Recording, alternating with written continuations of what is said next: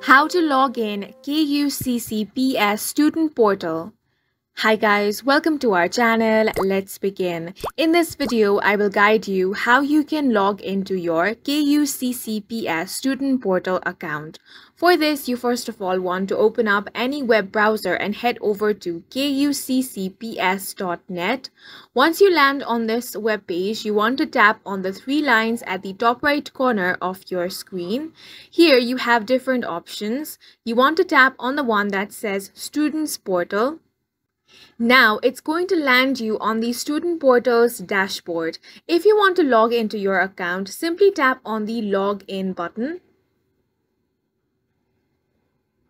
Now, you will have to enter some of your details in order to be logged into your account. Start by entering your KCSE index number. Then enter your KCSE year. Now, you want to enter your password. Once you have entered all these details, make sure that all the details are accurate. Now, simply tap on the login option. If all the details are correct, you will be successfully logged into KUCCPS student portal. And that's it for this video. If you found it helpful, please make sure to hit the like button and subscribe for more videos like this.